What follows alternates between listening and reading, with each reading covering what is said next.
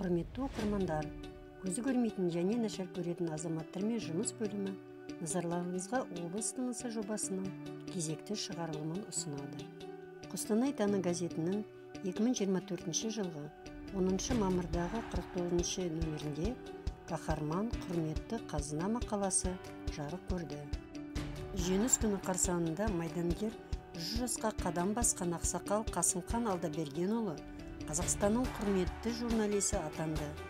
Осы күні ардагер журналистер одағының мүшелік куәлігінде жаңартты қасымхан атамыз соғыстың ғана емес ақпарат айдынының да ардагері.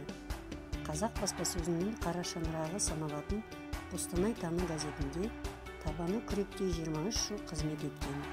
Қазақстан журналистер одағының мерекелік сәлемдемесін филиал төрағасы александра серғазинова мен қостанайские новости газетінің бас редакторы олег гурский жеткізді.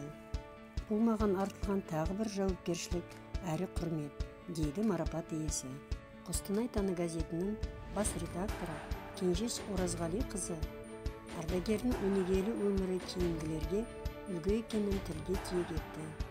Редакция атынан сый сияпат ұсынды. Ес білгенімде біздің ауыл жұмшар болып жатты.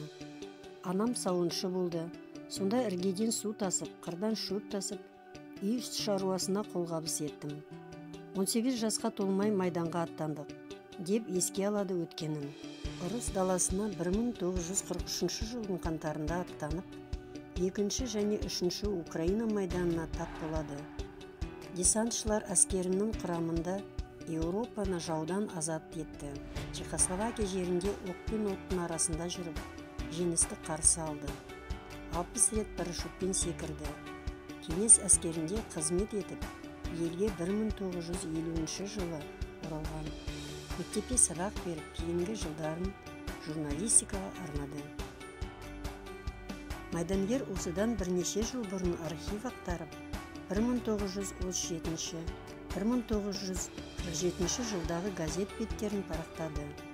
Осы еңбегі қостанай таңының жүз жылдығына орай жылдар деректер сырлар деген атпен кітап болып басылып шықты